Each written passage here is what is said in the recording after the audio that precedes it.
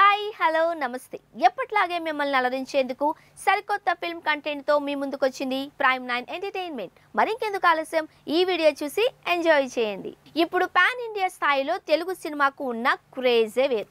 ఈ క్రమంలో పరభాషా చిత్ర దర్శకులు ఆర్టిస్టులు తెలుగు సినిమాలు చేసేందుకు మొగ్గు చూపుతున్నారు. ఇప్పటికే Kollywood star directors Lingusamy Prashanth Neel Mani Ratnam Lawrence Prabhu Deva లాంటి స్టార్ డైరెక్టర్లు మన హీరోలతో సినిమాలు తీసి తమ స్టామినా ఏంటో చాటుకున్నారు.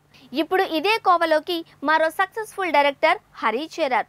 సింగం సిరీస్తో అటు తమిళ్ ఇటు తెలుగులోనూ మంచు క్రేజ్ సొంతం చేసుకున్న డైరెక్టర్ హరి మాస్ సినిమాల స్పెషలిస్ట్గా పేరు తెచ్చుకున్నారు.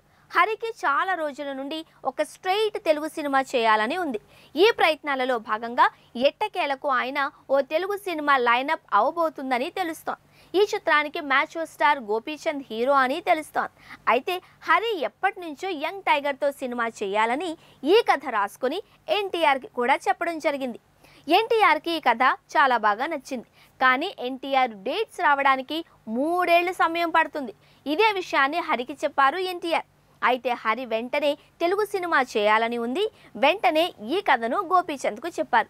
గోపీచంద్కి కథ నచ్చడం ఈ కాంబోలో మూవీ ఫైనల్ అవ్వడం అన్నీ చకచకా జరిగిపోయాయి. ఈ కథ గోపీచంద్ మాస్ ఇమేజ్కి తగ్గట్టుగా ఉంటుందని సమాచారం. త్వరలోనే ఈ మూవీకి సంబంధించిన అఫీషియల్ అనౌన్స్మెంట్ రాబోతోంది. ఈ వీడియో మిమ్మల్ని అలరించింది అని అనుకుంటున్నాం. ఈ వీడియోపై మీ అభిప్రాయాలను కమెంట్స్ బాక్స్లో తెలియచేయండి.